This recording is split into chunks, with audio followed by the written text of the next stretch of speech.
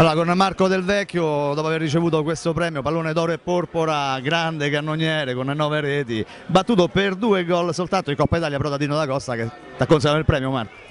Sì, è un'emozione particolare perché insomma mi avevano sempre parlato di lui ma non l'avevo mai conosciuto, conoscerlo, ricevere questo premio da lui insomma è motivo di, di grande soddisfazione. Ecco, tu prima sul palco al momento della premiazione hai parlato di una Roma sfavorita in genere, chi è sfavorito poi alla fine si aggiudica il derby però, sì. tu ne sai qualcosa? Sì, quindi speriamo bene, speriamo che sia, si, si, confermi questa tradizione e speriamo che la Roma possa vincere domenica. Allora, continuiamo con eh, le interviste per LMR1.tv qui dal Ducati Caffè di Roma e siamo con il bomber dei bomber per quanto riguarda il derby con Dino D'Acosta direttamente da Verona per eh, ritirare questo ambito premio. D'Acosta, una sensazione particolare, un'emozione particolare a distanza di tanti anni? Sì, perché quando si viene a Roma a vedersi il pubblico di tanta gente per una manifestazione sempre dà una grande soddisfazione morale tanto di quello che ho fatto nel passato e anche servito a qualche cosa premio il pallone d'oro e porpora consegnato dal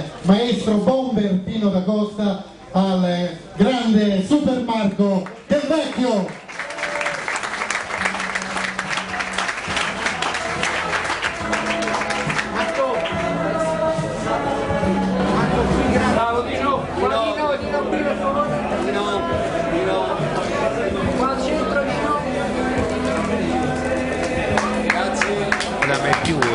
ci sono situazioni, ovviamente oggi ricordiamo Gabriele come ultimamente è stato ricordato anche un tifoso della Roma, Antonio De Falchi, di cui troppo spesso se ne parla troppo poco. Questo per ribadire che dentro e soprattutto fuori gli stati non devono succedere simili accadimenti e che tutti devono avere responsabilità. Sicuramente la tifoseria ma anche le istituzioni, le forze dell'ordine e le stesse società dovrebbero investire un pochino di più in quella cosiddetta cultura sportiva facendo tornare la gente allo stadio in un calcio troppo moderno, troppo televisivo e troppo legato magari alla pay per view passione che significa il Paolo Romano, con la quale Roma ha dato la civiltà al mondo. Questo è il simbolo che è la base della storia del mondo. Il responsabile della comunicazione della Rugby Roma che ritirerà un premio qui alla serata del 7 Colli Giallorossi proprio per gli 80 anni della Rugby Roma, Massimiliano Mosetti. Siamo molto contenti di essere qui, è un premio per gli 80 anni della società quindi è un piacere essere qui, insomma, al di là dei colori, perché poi sapete che nel rugby i colori non esistono, anzi i colori non, non dividono ma uniscono nel rugby, quindi sono venuto a portare anche questo messaggio in vista del derby. Massimiliano Mosetti al Ducati Caffè per il premio Sette Colli Giallo Rossi. Quanti sono contenti di vedermi? Quanti vogliono andarmi via subito? Quanti sanno che tornerò tra poco? Chi non ha alzato il braccio finora? Vai tutti, tutti? Quanti sono della Roma? Quanti allontaneranno le, strane? Allora, con Massimo Bagnato stavolta l'ho pizzicato ragazzi per il pronostico di Lazio-Roma non si può sbagliare, ce lo dice davvero stavolta, non come quella volta all'Olimpico. Lazio-Roma. Allora, stavolta sono più che mai deciso perché lui mi ha detto guarda ma stavolta dillo perché ci tengono, aspettano il pronostico. Eh. Quindi Lazio-Roma finirà questo cioè, lo dico, lo garantisco, cioè, e poi confrontate, cioè, confronto diretto, controllo incrociato. Eh, niente, Massimo Bagnato è questo, ragazzi. Se lo prendi così. Oh, io... allora, continuiamo con la serata qui dal Ducati Caffè per il premio 7 Colli Giarossi, premio VIP che verrà assegnato stasera alla conduttrice showgirl, eh, conduttrice televisiva Antonella Mosetti. Ciao, ciao Antonella. Grazie, ciao, buonasera. Di fede romanista, chiaramente. Allora, come stai vivendo il momento della Roma proprio alla vigilia di un, eh, di un derby? Ma è un po' nervosa, e non so, io mi sento un, un, come risultato risultato 0-0 sarebbe no, senza litigare. Filmeresti? Sì, io sì. Grazie.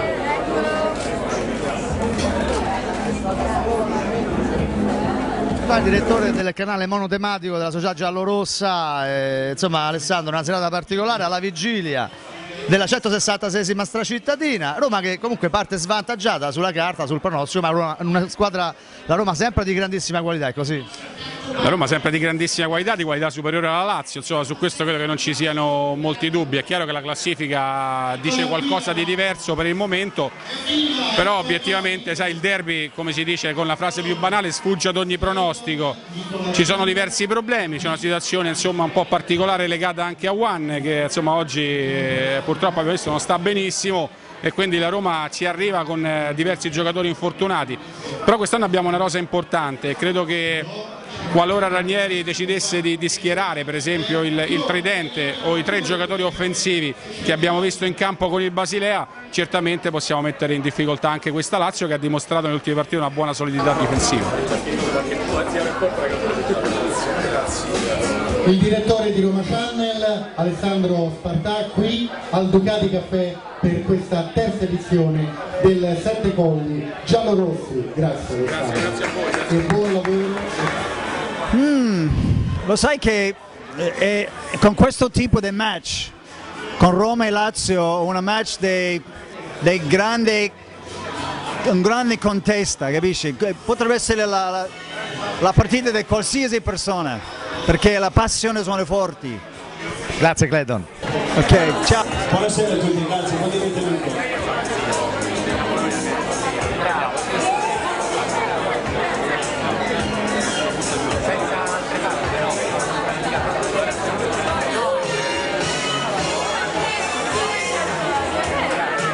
con il direttore il romanista Carmine Fotia, il quale ha consegnato poi il premio della serata del 7 Colli giallorossi al super bomber Dino da Costa. E quindi io mi auguro che questo premio che ho avuto l'onore di consegnare a un grande bomber che di gol nei derby ne ha fatti tanti, che questo sia d'auspicio per il derby, anche se io sono, la penso come il capitano, la Lazio è sicuramente più forte e quindi sicuramente la Lazio vincerà il derby con un gol.